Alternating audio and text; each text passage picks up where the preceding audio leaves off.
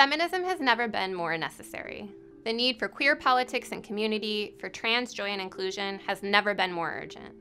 In the US alone, more than 45 anti trans bills have already been passed this year, with hundreds more in the works.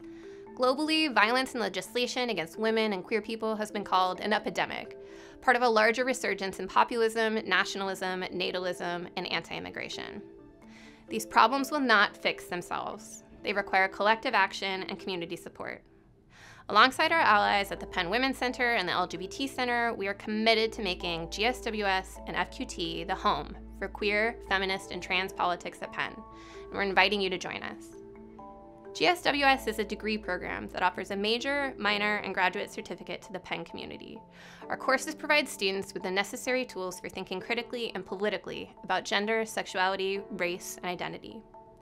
FQT is the intellectual home for research and policy thinking on feminism, queer theory, and trans studies. In addition to a pivotal trans oral history project, we run a podcast and offer year round programming.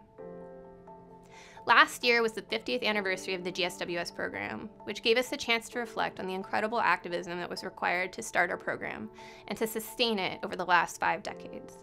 To keep it going for another 50 years, we need your input, involvement, and support.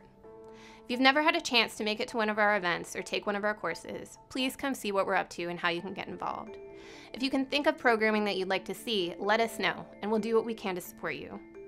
If you've been involved with GSWS FQT in the past, but haven't been involved lately, now's the time to sync back up. We're calling on our allies and co conspirators to help us build the tools and communities we need for promoting queer, feminist, and trans politics at Penn and in Philly. Please join us.